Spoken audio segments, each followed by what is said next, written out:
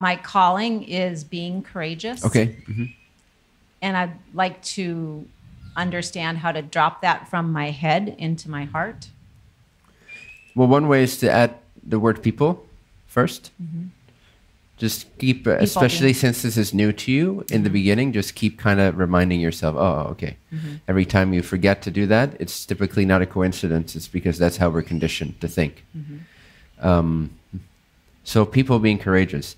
And one of the, I think, analogies Anurag once used is, um, not sure actually if he said this, but something like, you know, if you if you see that happening on, say, a movie, you know, you go to a movie, and the whole theme of the movie is people being courageous, and there's a few moments in that movie where that really shines forth, and you feel moved to tears.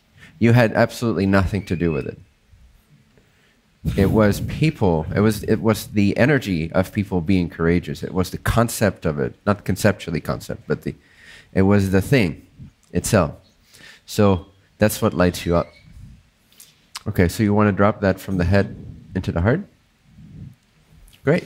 And when you get it as a as to to get it in the, in its entire non-linearity is because if you take that and the yes you say that, but also like when you really get if you allow yourself to get it and you really get this is who I am,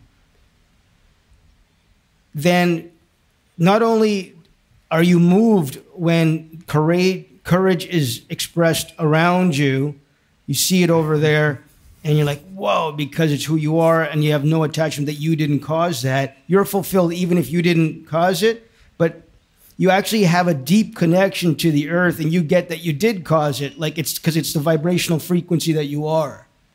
There's no not there's no separation from it anywhere happening in life. Nice. If you let yourself drop in all the way, you actually go, oh, uh, courageous. I'm going to cause I'm going to help bring it to people. Oh, wow, I'm inspired by it. Wow, I am it, and it exists, and it's my home frequency. And the more I am true, the more it's out there, whether it looked like looked like I linearly caused it or not.